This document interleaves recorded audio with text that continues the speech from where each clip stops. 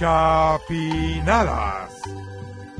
Expresión popular guatemalteca. Siete oficios y 14 necesidades.